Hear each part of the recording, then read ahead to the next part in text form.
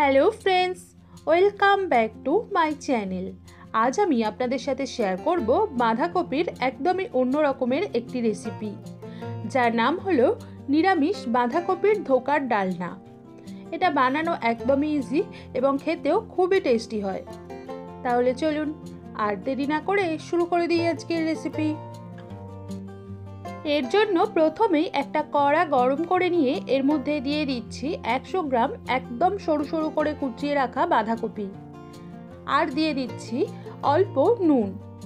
এখন নুনটা এই বাঁধাকপির সাথে ভালোভাবে মিশিয়ে নেওয়ার পর এটাকে ঢাকনা দিয়ে লো ফ্লেমে রান্না হতে দেব চার মিনিট, যাতে বাঁধাকপিটা একটু সফট হয়ে আসে। এই কপিটা নুন দিয়ে সিদ্ধ করার সময় যদি মনে হয় যে জলটা একদম শুকিয়ে এসেছে, সেক্ষেত্রে অল্প একটু নর্মাল জল এর মধ্যে অ্যাড করে এটাকে ভাপিয়ে নিতে হবে। যতক্ষণে কপিটা ভাপানো হচ্ছে, ততক্ষণে এখানে আমি একটা বলে একশো গ্রাম ছোলার ডাল তিন ঘণ্টা আগে ভালোভাবে ধুয়ে ভিজিয়ে রেখেছি। এবার ভালোভাবে জল ঝরিয়ে ডালগুলো একটা মিক্সিং জারে দিয়ে এগুলোর একটা শুকনো পেস্ট বানিয়ে নেব। ডালটা মিক্সিতে দিয়ে পেস্ট করার সময় কোনো রকম জল অ্যাড না করে পেস্ট করতে হবে।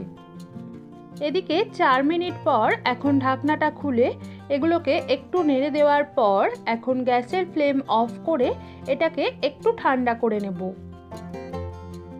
কপিটা একটু ঠান্ডা করে নেওয়ার পর আমি একটা বলে এটাকে ট্রান্সফার করে নিয়েছি। এবার এর মধ্যে দিয়ে দিচ্ছি বেটে রাখা ডাল, স্বাদ মতো নুন, অল্প কালো জিরে, অল্প মৌরি ওয়ান টিস্পুন চিনি ওয়ান ফোর্থ টিস্পুন হলুদ গুঁড়ো এবং ওয়ান টিস্পুন ভেজানো হিং জল। এর সাথে সাথেই দিয়ে দিচ্ছি ওয়ান টিস্পুন আদা এবং কাঁচা লঙ্কা বাটা। পুরো মিশ্রণটার মধ্যে আমি দুটো কাঁচা লঙ্কা বাটা ইউজ করেছি। ঝালটা আপনারা আপনাদের স্বাদ অনুযায়ী বাড়িয়ে বা কমিয়ে নিতে পারেন। যদি বেশি ঝাল খেতে পছন্দ করেন, তাহলে অল্প লঙ্কা গুঁড়ো এর মধ্যে অ্যাড করতে পারেন।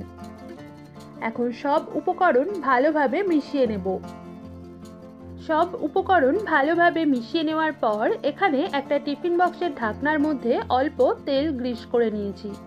এবার বাঁধাকপি ও ডালের মিশ্রণটা এই গ্রিস করা পাত্রের মধ্যে রেখে এভাবে একটু চাড়িয়ে দেওয়ার পর চারধার এইভাবে সমান করে দেব। এরপর এখানে একটা কড়াইতে এক গ্লাস মতো জল গরম করে নিয়ে এর উপর একটা স্ট্যান্ড রেখে দিয়েছি। এবার এই স্ট্যান্ডের উপর ডালের মিশ্রণের পাত্রটা রেখে এটাকে একটা ঢাকনা দিয়ে ঢেকে দেব। এবং কড়াটাকেও একটা ঢাকনা দিয়ে ঢেকে এটাকে হাই ফ্লেমেই রান্না হতে দেব দশ মিনিট মতো। যতক্ষণে এটা স্টিম হচ্ছে, ততক্ষণে ধোকার জন্য গ্রেভিটা বানিয়ে নেব।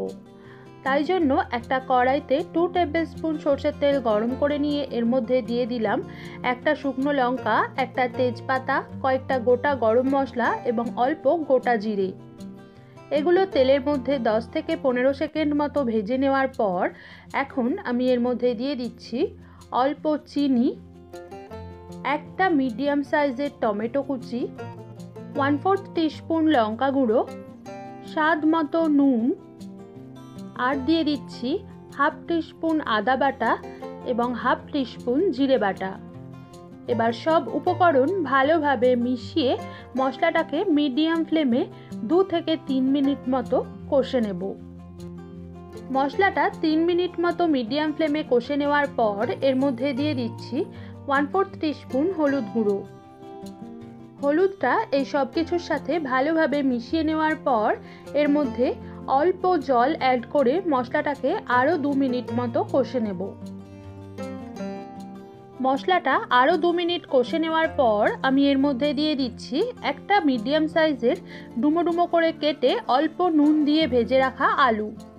এবার আলুটা এই মশলার সাথে ভালোভাবে মিশিয়ে এক মিনিট মতো মিডিয়াম ফ্লেমে নাড়াচাড়া করে নেওয়ার পর এর মধ্যে পরিমাণ মতো জল দিয়ে ভালোভাবে মিশিয়ে এটাকে ঢাকনা দিয়ে ততক্ষণ পর্যন্ত রান্না হতে দেব যতক্ষণ না আলুটা পুরোপুরি সিদ্ধ হয়ে আসছে। এদিকে 10 মিনিট পর এখন ঢাকনাটা খুলে আমি দেখে নেব ডাল ও বাঁধাকপির মিশ্রণটা শক্ত হয়ে এসেছে কি না। হ্যাঁ এই মিশ্রণটা শক্ত হয়ে গেছে।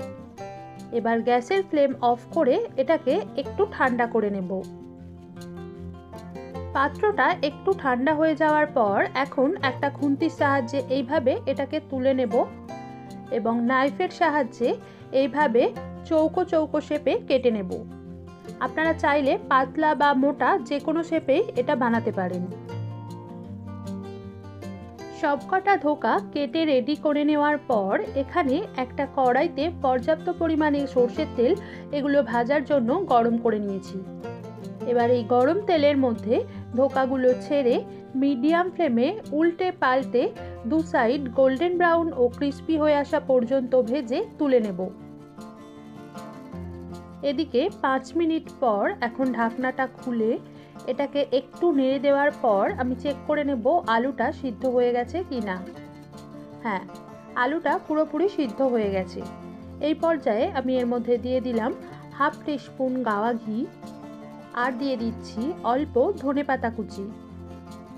এগুলো গ্রেভির সাথে ভালোভাবে মিশিয়ে নেওয়ার পর এর মধ্যে ভেজে রাখা ধোকাগুলো দিয়ে গ্রেভির মধ্যে ভালোভাবে কোট করে নেওয়ার পর এর মধ্যে দিয়ে দিচ্ছি অল্প গরম মশলা গুঁড়ো। এবার এটাকে ঢাকনা দিয়ে লো ফ্লেমে দু মিনিট রেখে নামিয়ে নিলেই তৈরি হয়ে যাবে আমাদের আজকের রেসিপি।